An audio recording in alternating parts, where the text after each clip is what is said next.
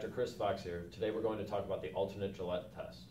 The purpose of this test is to assess for any mobility restrictions in the SI joint.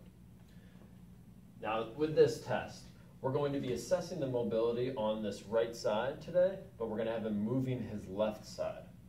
So I'm going to palpate the PSIS on his right side and the S2 spinous process with my left hand here. Going to have Jim go into active hip flexion on that left side to about 90 degrees and back down and do that again and back down.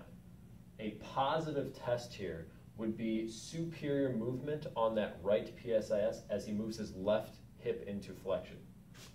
What that tells us is that there's a lack of mobility in the SI joint and the compensation is driving him into that superior direction on the right side.